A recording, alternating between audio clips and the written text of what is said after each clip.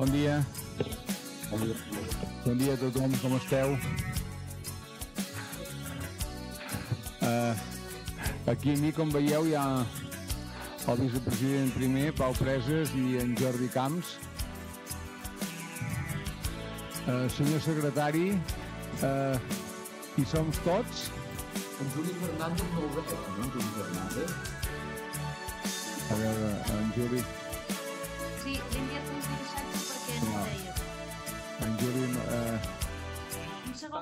Aquí un missatge, està entrant. està Ah, entrant. doncs. Molt bé, molt bé. La Laia ja hi és, Bon dia. la Gisela... Sí. Gisela? També hi és. I en el, el Carles Motes també. També. Uh,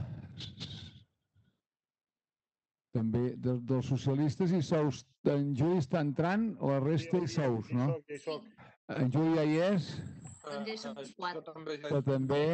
Molt bé. Uh, de, del grup de govern, uh, el senyor Dolçat deu faltar. I els de més hi són tots, senyor secretari?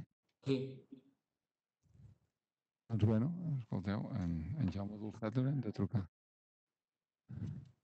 Molt bé.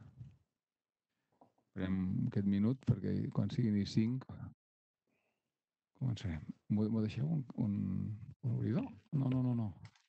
Ah, gràcies.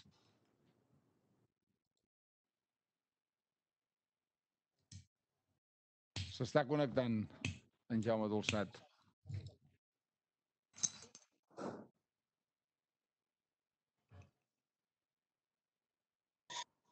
Bon dia, president. Tenia problemes per entrar, però ara finalment ja va la connexió. Molt bé, bon dia, Jaume. Bon dia. I som tots, doncs, anem per començar aquesta sessió plenària. Eh, el primer punt és el pronunciament sobre la urgència d'aquesta sessió plenària. Estem tots d'acord? sí, sí. Sí? Doncs aprovada, senyor secretari, la urgència. Procedim als punts de les comissions informatives. Els primers són de la comissió informativa d'Hisenda, Administració, Promoció Econòmica i Cooperació Local. Eh, informació sobre el, el ple de l'execució dels pressupostos i del moviment de la situació de tresoreria de la corporació, dels seus organismes autònoms i dels consorcis escrits del primer semestre vençut de l'exercici actual, així com la informació tramesa al Ministeri d'Hisenda en relació a l'execució del pressupost referida al segon trimestre del 2020. Té la paraula la vicepresidenta, senyora Maria Àngels Planes. Bé, molt bon dia a tothom. Gràcies, eh, president. Bé, eh, aquesta informació... Maria Àngels, perdó, Maria Àngels, Sí? Maria Àngels, te sentim entretallada a la veu. Ah, bon dia. A veure, ara me sentiu millor? Ara et sentim millor. Avanti. Bueno, perfecte. Bé, eh, deia que molt bon dia i que moltes gràcies, eh, president, que pel que fa a la informació del ple de l'execució del pressupost i del moviment i la situació de tesoreria, la fase novena d'execució del pressupost de la Diputació de l'exercici 2020 diu que la intervenció general ha de trametre al ple de la informació per semestres vençuts sobre l'execució del pressupost i també del moviment i de la situació de la tresoreria de la corporació dels òrgans dels organismes autònoms i dels consorcis escrits.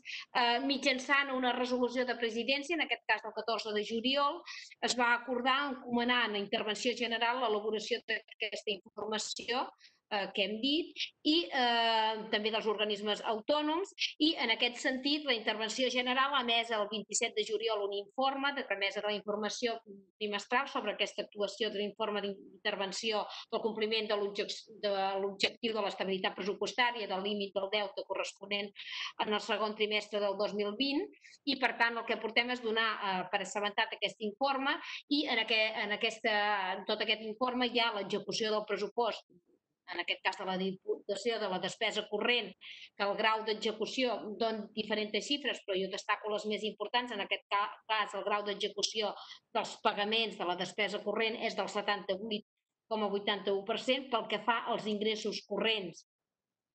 La, eh, el grau d'execució és eh, del 98,57% i també eh, eh, reflexa els moviments de la situació de tesoreria, quin era el saldo inicial, els ingressos, els pagaments i que el saldo, en aquest cas, el 30 de juny del 2020 són de 57.549.000 euros. I també hi ha l'informe respecte als diferents eh, organismes autònoms i consorcis, en aquest cas d'Ipsalut, Conservatori de Música Isaac Albenis, Consorci de la Costa Brava, Vies Verdes i Consorci de les Gavarres i tots aquests informes estan a disposició dels diputats. Moltíssimes gràcies.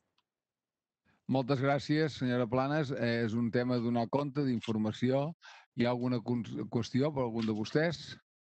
Doncs en tot cas n'hem donat compte. Passaríem al punt següent, que és el tercer, la convalidació del decret número 2020 barra 2009, de data 21 de juliol del 2020, d'aprovació de l'expedient de crèdit extraordinari del pressupost de l'Organisme Autònom de Salut Pública d'Ipsalut. Senyora Planes? Uh, moltes gràcies, president. Sí, en aquest cas és un crèdit extraordinari que el financem amb el romanent líquid de tresoreria per les despeses generals d'11.215,78 euros i són les necessitats que han sorgit degut a la Covid-2019, perdó. són despeses de transport en material sanitari i estudis i treballs tècnics que s'han realitzat per aquest valor. Es convalida? Aquest és aquest tema del Covid, eh, que, que saben que és de convalidació. I passaríem al punt quart, que és un igual, eh, un altre decret del, de DipSalut, senyora Sí, Planes. aquest, sí, en aquest cas és de DipSalut, també és pel tema de la Covid, eh, es financen romanents líquids també de tesoreria per valor de 118.685,30 i són productes farmacèutics i material eh, sanita- sanitari que comprarem. No el que hem comprat. D'acord. O que hem Eh, comprat. D'acord? Es convalida, doncs? D'acord.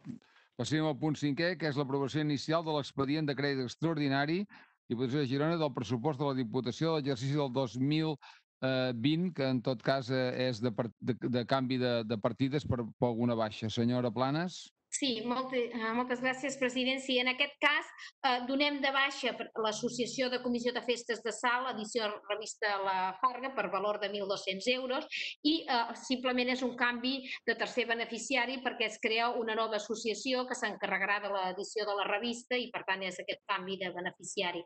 També donem de baixa, en aquest cas, en l'Ajuntament de Banyoles, el màster de la regata del 2021, perquè no es farà aquest any la regata per valor de 75.000 euros i aquests 75.000 euros estan distribuïts amb un crèdit extraordinari, un, per una part a l'Uni Girona per, eh, per l'activitat d'aquest 19-20 i també per la eh, reparació del temporal Glòria, en aquest cas del GEC, i la Fundació Tomi Robledo per causes de discapacitat de tenis adaptat a les, a les escoles, que el total de les partides fan aquests 75.000 euros, que és el que donem de baixa del, de la regata de, de Banyoles. Alguna consideració?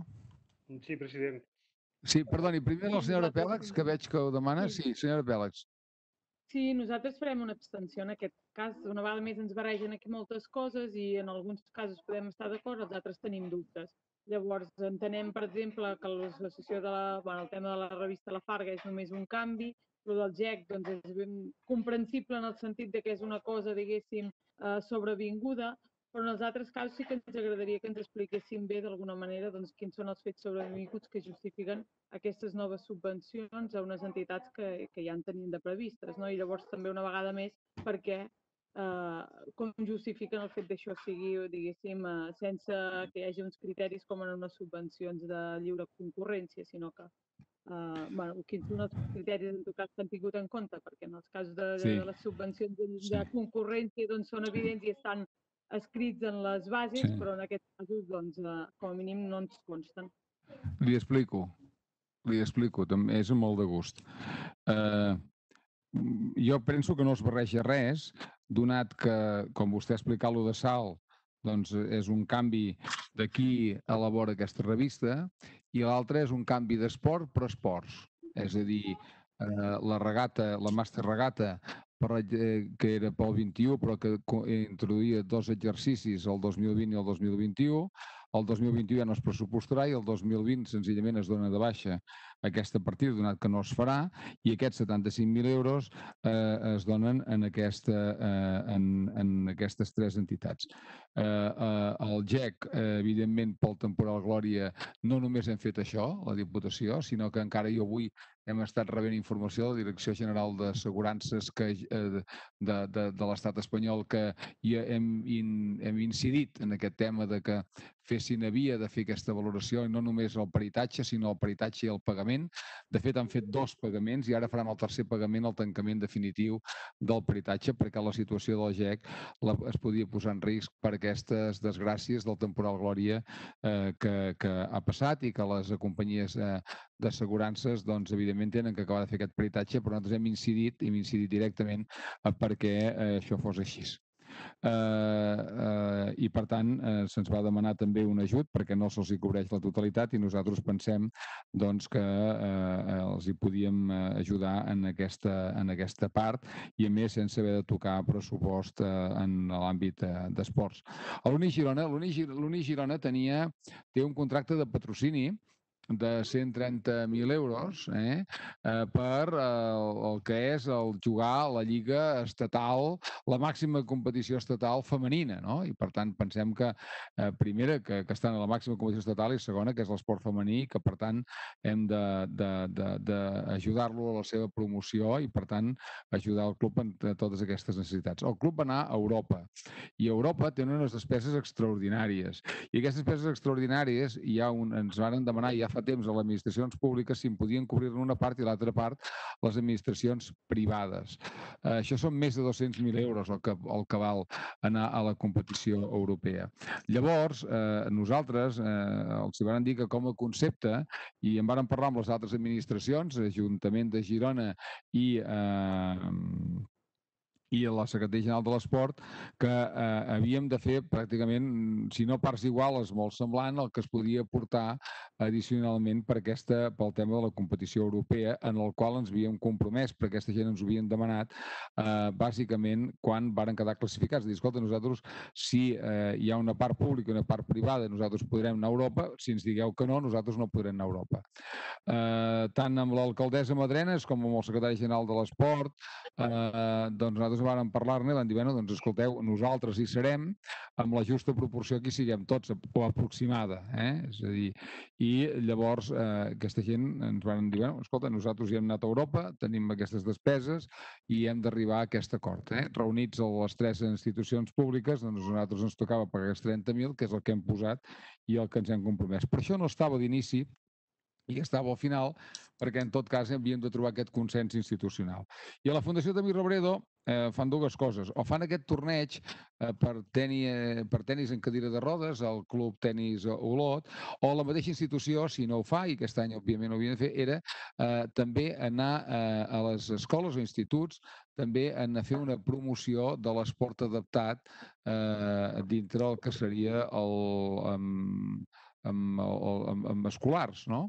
Amb escolars o bé de primària o també de secundària. I per tant, doncs, eh, no estava clar si seria d'una manera o d'una altra i per tant, doncs, eh, tant punt ens han dit no fem el torneig i fem això, doncs hem posat aquesta activitat en el, en el club. Això és pel motiu pel qual em penso doncs, que és d'esports a esports sense barrejar-hi res que no, que no sigui el que, el que en circumstàncies tocals, eh, tocaria. Bé, quan parlo de barrejar em refereixo que són partides molt diferents unes amb les altres, no? En tot cas, eh, eh, era aquest el, el, el que incidia. I simplement, doncs, a partir del que ens, han explicat, ens heu explicat, doncs, demanar a veure si seria possible donar una estabilitat a aquestes col·laboracions a través d'unes línies de subvencions, o sigui, l'esports ja yeah. té unes línies de subvencions previstes, mm. doncs a veure si podria ser possible intentar incloure aquestes, ah. si es considera, diguéssim, que són oportunes aquestes col·laboracions, doncs incloure les entitats. Sí, però de fet són extraordinàries. Fixi's bé que donem de baixa d'una activitat internacional extraordinària de Banyoles, que no es farà, i els donem d'alta amb activitats que són extraordinàries. Una, no sabem si es tornarà a classificar o, o cada any com es classificarà l'Uni Girona, si es classificarà o no per anar a Europa. Eh? Dos, no, el Glòria... Les normalment preveuen els supòsits i en cas ja. si t'hi pots acollir o no, ja. segons es dona, normalment va així. Ja. El Glòria esperem que no vingui més eh? i per tant tampoc podíem contemplar que passés. Eh? I a la Fundació Tomí Robredo tampoc podíem mirar si es podia fer el, el, el, el torneig d'esport adaptat havien de canviar-ho. Per tant, fixis bé que són coses sobrevingudes eh, en, aquesta, en aquest any. Gràcies. Senyor Fernández. Gràcies, president. Sí, bé, el nostre, el nostre grup, tant en el punt aquest 5 com el 6è, en la comissió informativa vam fer reserva de vot. Ja vaig Sí. anunciar ja que era bàsicament per analitzar l'expedient. Sí. Vist l'analitzar l'expedient i vist també l'explicació que ha donat vostè, entenem que és una situació, òbviament, extraordinària. Entenem que en el punt 5 el que fem és que donem de baixa unes partides perquè no fa- no s'executaran i el mateix ja ho traslladem a aquestes activitats que realment s'executaran i tenen un caire, mm, com vostè ha dit, d'urgència extraordinari. Igual passa amb el punt número 6, per tant el nostre vot serà afirmatiu, malgrat que, com ha dit abans la, la portaveu del CUP, nosaltres també hem defensat sempre que aquestes subvencions que les, tinguem, les poguéssim tenir previstes en els pressupostos, molt millor que siguin ja o nominals o lliure concurrència, però també entenem que la situació que estem vivint doncs, eh, genera aquest tipus d'urgències i de qüestions extraordinàries i com que gran part d'això té un caràcter social i esportiu, el nostre grup donarà suport tant al 5 com al 6. Moltes gràcies, eh, senyor Fernández. Eh, bé, en tot cas, jo crec que ho he explicat eh, eh, anteriorment eh, i li agraeixo d'aquesta comprensió que són fets extraordinaris i que no són ordinaris, que si fossin ordinaris, evidentment, s'haurien de contemplar eh, dintre, el, eh, dintre el pressupost en el que serien els ajuts nominatius o també a les, a les, el que seria la concurrència. Moltes gràcies. Per tant, entenem que en el punt 5 eh, hi ha una sola abstenció, no hi ha cap vot en contra i els, la resta de vots són a favor. És així? Sí. Doncs, eh, doncs passaríem. I el punt 6, que és aquest expedient de suplement de crèdit, senyora Planes, malgrat saber molts vots, estaria bé que l'expliquéssim. Eh, sí, eh, president, gràcies. Eh, sí, és, una, és un suplement de crèdit. En aquest cas, el suplementem amb fons de contingència per valor de 362.200 euros i eh, el, el, el suplement de crèdit és estudis i treballs tècnics d'enginyeria, protecció civil. Els serveis d'enginyeria necessiten contact- contactar una assistència tècnica, en aquest cas per redacció de diversos projectes afectats en aquest, el temporal Glòria, degut a la insuficiència dels tècnics i també l'especialitat per la complexitat d'aquests projectes, per, per tant es fa necessari aquesta contractació externa. Pel que fa a les inversions i elements arrendats i cedits a favor, de recursos humans eh, són el lloguers de les oficines del trasllat de les dependències del carrer Ciutadans, que com tots vostès saben, on i s'han de fer en aquestes no, aquests nous lloguers s'han de fer unes obres d'adequació i per tant eh, és necessari complementar la partida per poder fer aquestes actuacions en aquests nous locals de lloguer.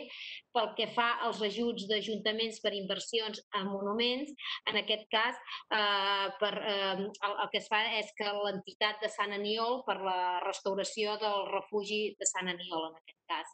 I per, per últim, els ajuts a entitats no, eh, eh, entitats no lucratives per inversions eh, en monuments és el conveni de col·laboració que hi ha en l'Ajuntament de Besalú per invertir-lo arqueològicament a, en, el, en el terme de, de Besalú en aquest cas. Moltes gràcies. Bé, moltes gràcies. Alguna consideració? No. No? Eh, entenem, senyora Pèleg, vostè manté el vot d'abstenció també aquí? En aquest cas nosaltres votarem favorablement. A la comissió informativa vam demanar explicacions i ens va semblar bueno, justificant. Per-. Per- tant, entenc que és per unanimitat, doncs? Sí. Moltes gràcies. Eh, passaríem al punt setè, que és l'adhesió de la Diputació de Girona al Sistema Central d'Adquisicions de la Comissió Central de Subministraments de la Generalitat de Catalunya. Senyor Iats. Gràcies, president. Per racionalitzar la contractació, la llei de contractes preveu diverses figures, entre elles les centrals de, de compra. La Diputació ja estava adherida a l'Associació Catalana de Municipis i ara es proposa l'adhesió a aquesta central de compra catalana.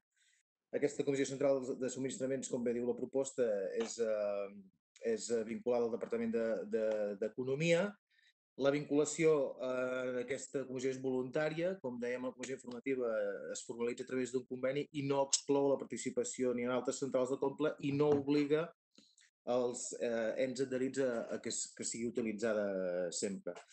Per tant, aquí disposem amb aquesta adhesió d'una eina més, eh, per tant, la Diputació disposarà d'una eina per fer la compra pública més eficient i sobretot en mercats on no existeix pràcticament eh, la PIME. Per això demanem l'aprovació a aquesta adhesió. Moltes gràcies. Moltes gràcies. Alguna consideració? No. No? Sí, senyora Pèl·lec? Nosaltres ens, abstindrem en aquest cas, tot i que diu el, el diputat deia doncs, que són mercats on pràcticament no existeix la PIMEX i que entenem que moltes vegades aquest tipus de eh, centrals de subministraments doncs, eh, el que provoquen és precisament eh, que vagi en detriment, diguéssim, al consum de, de proximitat o amb empreses socialment responsables. I llavors deleguem una mica aquesta capacitat de decisió sobre aquests aspectes amb, amb, i, i sol ser, diguéssim, una, una... Normalment es va, diguéssim, més cap a empreses eh, multinacionals o empreses grans que són les que acaben eh, acollint-se d'aquest tipus de, de centrals. Llavors ens abstindrem en aquest cas. Bé, gràcies. Val a dir, senyor, eh, senyor Iats, digui, digui. Sí, mm, eh, dic que hi ha, hi ha casos on eh, aquesta tipologia de, de, de petita empresa no hi és, i és en els casos que estem tractant. I el cas més clar, per exemple, és que aquí estem parlant de, de, la, de la previsió de fer-ho en combustibles. I sí que m'ha deixaria clar que com a Diputació tenim l'objectiu d'aquestes licitacions siguin al màxim eh, a les petites mitjanes empreses i que, de fet, eh, del 2019, dels 16 milions de, de, de, de licitacions que es van fer, més de 12 milions va ser a la PIME. Per tant, vull dir que fonamentalment estem treballant en petita i mitjana emprena en el cas de la Diputació. Que en aquest cas, bàsicament, es tracta d'una eina a la qual ens permet, en aquells casos, en aquells productes més estandarditzats, en els quals no tenim més eh, oferta que la d'aquestes empreses. Correcte. De fet, és així i aquí ens adherim. El que no vol dir és que ens hi hagin d'adherir constantment, és eh, tenir la porta oberta per si en algun concurs interessa. Si en algun concurs interessa més fer-ho a través de la Diputació, ho farem internament. No, no, eh, ara aquí és adherir-nos-hi perquè tenim la porta oberta, com a la central de compres de l'ACM, etc, en la qual, doncs, eh, eh, si hi ha una circumstància que es creu que és millor agafar-ho per aquí, doncs es agafa per aquí. Bé, en tot cas, entenem que hi ha una abstenció i els altres són a favor. Doncs, eh, senyor secretari, quedaria d'aquesta manera. Passaríem al punt vuitè, que és la modificació de l'ordenança reguladora de preus públics per la prestació dels serveis i la realització d'activitats relatives als ensenyaments que s'imparteixen al Conservatori mm, de Música Isaac Albéniz. Té la paraula el vicepresident senyor Pinyeira. Moltíssimes gràcies, senyor president. Bàsicament, i per sintetitzar, perquè aquest punt el vam explicar en la corresponent comissió informativa, com tothom sap i totes les diputades i diputats coneixen, la declaració de l'estat d'alarma va comportar la, la, la, el tancament dels centres d'ensenyament musical de, del conjunt del país, entre ells l'Escola de Música i Conservatori Isaac Albéniz de Girona. Això va obligar a haver de reconvertir i no ha estat fàcil que es pogués començar a fer ensenyaments online i ensenyament presencial i ara ens trobem a les portes d'un nou curs escolar que és incert per l'ensenyament reglat i és també pels ensenyaments artístics i musicals. En aquest sentit, treballant-ho amb l'equip tècnic del conservatori, tant amb la direcció de l'organisme com amb el, amb el professorat, amb la direcció acadèmica, vam plantejar la possibilitat de que, evidentment, la voluntat és poder iniciar el curs presencial. En el cas dels ensenyaments artístics i musicals, l'ensenyament presencial aporta un valor afegit molt notable. Hem de pensar que del programa curricular que tenim tant en Escola de Música com a Conservatori, el gruix de l'ensenyament musical és l'instrument, l'especialitat d'instrument, això és el que agrupa el gruix de les hores i normalment és en, en modalitat individual. L'ensenyament amb instrument, si es pot fer presencial, totes les parts que es treballen a la classe, eh, la matèria que és la, la digitació, la correcció postural, la part d'interpretació, etc etc. Això és bastant més difícil fer-ho telemàticament.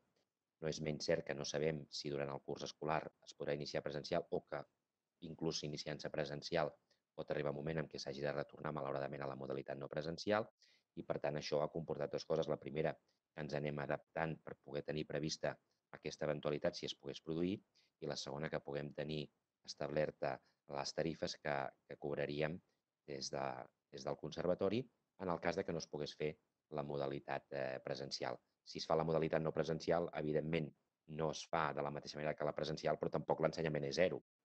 Per tant, en aquest sentit, s'ha de preveure alguna tarifa. Nosaltres hem estat fent una mica de, de prospecció i treballant amb la direcció acadèmica i amb la direcció de l'organisme a veure què els hi semblaria que seria correcte mm, poder, poder cobrar. Hem vist que hi ha molta casuística diferent en els diferents conservatoris. Hi ha conservatoris que cobren tarifes del 20, del 25%, altres que han fet del 30, del 33%, del 40, del 42,5%.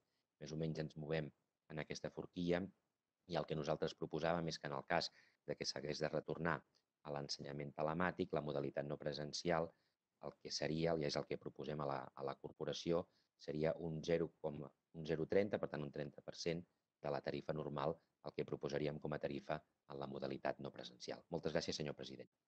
Moltíssimes gràcies, senyor Pinyeira. Alguna consideració per part de vostès? Sí, senyora Pèlag. Sí, nosaltres votarem en contra en la línia del que vam fer ja en el darrer ple. No m'allargaré massa, però sí que la nostra aposta, diguéssim, és que aquestes taxes tinguin un caràcter més redistributiu en funció de la renta, llavors si no avancem cap a aquest sentit, doncs eh, per això votem en contra. Llavors, només com a recordatori, entenem que són dates eh, mig vacacionals i per tant no és que ens urgeixi, però sí que vam demanar si ens podria fer arribar un, un informe d'explicació, digue-li com voleu, de les eh, beques que estaven donant, eh, que havíem parlat ja en el darrer ple, i a veure si ens podia explicar una mica la quantitat de beques que estaven donant els darrers anys i una mica com es distribuïen. Moltes gràcies. Gràcies, senyor Pinyeira. Sí, i tant. Mm, doncs tres qüestions al, al, al respecte. La, la primera és que la informació que ens va, que ens va sol·licitar la senyora Pela, que li estem, li estem preparant, li haig de significar també aquí que algunes beques estan encara en tràmit de, de, de resolució, s'estan donant ara i, per tant, clar, mm, la, per això no hem lliurat, perquè algunes coses és una informació que encara en aquests moments la dada no la podem saber i, òbviament, evidentment, a partir del moment en què la, la, la tinguem, li farem arribar a la il·lustre diputada com ens va sol·licitar i com no hauria de ser d'altra manera. Segona qüestió que voldria comentar, ja ho vaig, ja ho vaig explicar-ho també tant en comissió informativa com en el ple, la Diputació té un programa de beques potent i que l'anem potenciant, de beques de segon instrument, de beques per les modalitats que, que, que costa més que, que per determinades especialitats que la gent demani, d'altres que van vinculades més a l'excel·lència, per tant, Mm, ara hem tirat també endavant un programa amb l'Associació d'Intèrprets per poder becar. Bàsicament, les, el programa de beques de, de, la, de la corporació, com la majoria de beques de, de, de qualsevol centre d'ensenyaments musicals, respon a un doble objectiu. Un que és el de premiar l'excel·lència i, per tant, que tots aquells alumnes que tenen unes possibilitats majors de poder fer carrera professional, doncs eh, els, els ajudem i l'altre és garantir l'accés als ensenyaments musicals per part de tot l'alumnat i, per tant, van vinculats també a altres criteris de renta.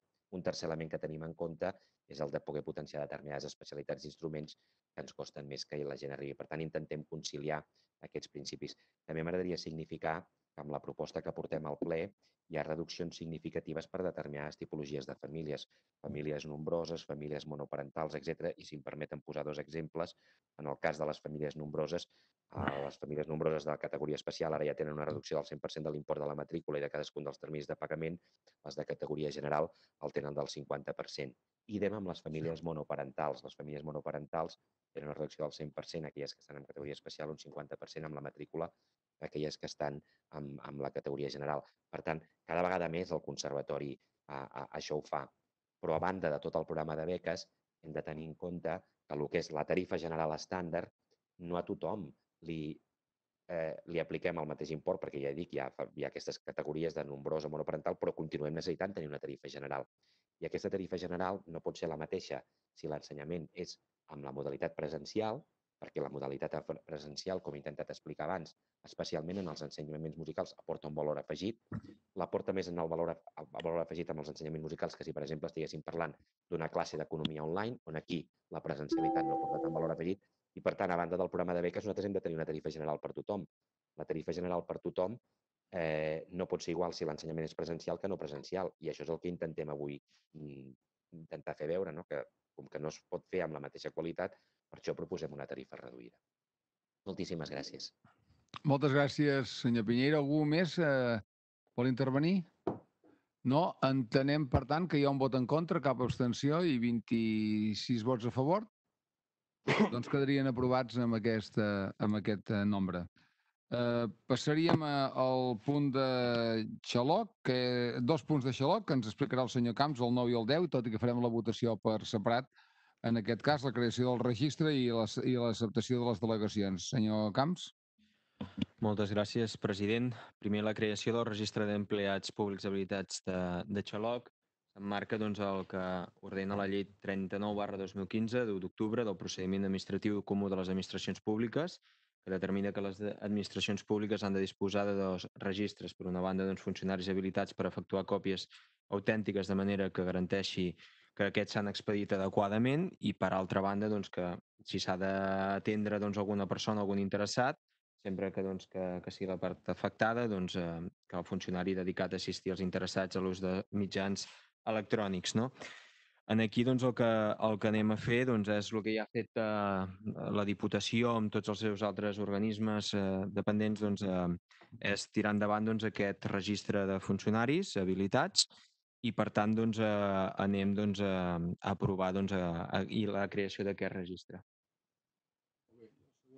I el segon punt eh, seria doncs, eh, la delegació de l'Ajuntament de Tossa de Mar, de la gestió, liquidació, recaptació en període voluntari executiu d'altres ingressos de dret públic, que seria el mercat, la taxa de cementiri, el preu públic eh, de la llar d'infants, preu públic de l'escola de música i la taxa d'ocupació de via pública, que aquí entraria les terrasses, tendals, caixers, rètols i mercaderies. Moltes gràcies, president. Moltes gràcies, eh, senyor Camps.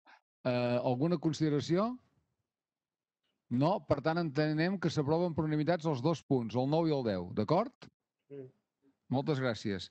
Passaríem a la Comissió de Territori i Sostenibilitat, dos punts de carreteres que s'han d'aprovar dos projectes definitius, un cop que fa a la millora del drenatge del punt quilomètric, eh, la carretera G baixa 5232 de Tortellà Montagut. Jordi Xargai, si pot tancar, si pot tancar un... Sí? I l'altre, el senyor Pinyeira, també s'hi pot tancar. Gràcies, gràcies. Mm, eh, Jo dic que dos, dos punts eh, de que és l'aprovació de dos projectes definitius. Un de la G baixa 5232 de Tortellà Montagut eh, eh, i, per tant, i aprovació inicial de la relació de propietaris, béns i drets afectats per l'expropiació i l'altre, l'aprovació definitiva del projecte de la GIB baixa 6708 de Salrà Juià de, i aprovar inicial de la relació de, de propietaris, béns i drets afectats per l'expropiació. Per explicar els dos punts i després, si volen, farem votació separada i si no hi ha res de, a dir, doncs faríem votació conjunta. Té la paraula el diputat senyor Jordi Xergai. Sí, sí, bon dia, gràcies president. Bé, com vàrem explicar les comissions informatives, són, és l'aprovació de, de, és la millora de, de, de de carretera de la xarxa viària, en aquest cas és l'aprovació definitiva de projectes de millora de, de drenatge principalment i que eh, afecten doncs, a, la, a la carretera de Montagut, eh, el seu, bueno, per una zona que és inundable, aproximadament uns 200, 215 metres eh, aproximadament, i que té un cost doncs, d'uns eh, 165.358 euros. I l'altre punt seria el que afecta doncs, la carretera de Salrà a Juià, també per entendre'ns a l'alçada més aproximadament de la, de la subestació eh, elèctrica que hi ha d'Endesa, doncs, allà hi ha un tram d'uns 320 metres eh, aproximadament, que quan venen puges abundants doncs queda inundat. I per tant entenem que amb l'aprovació d'aquests dos petits projectes doncs eh, millorarem de forma substancial la, viali- la viabilitat d'aquests dues carreteres. Moltes gràcies, senyor Xergai. Alguna consideració per part d'algú de vostès?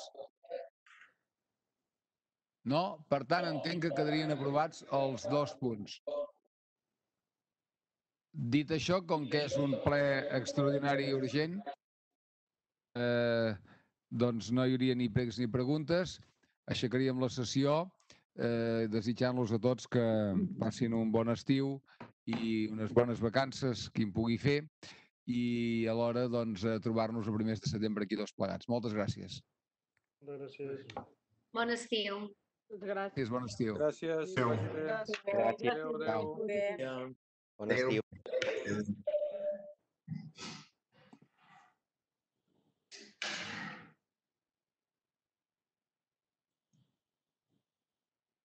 No puc sortir.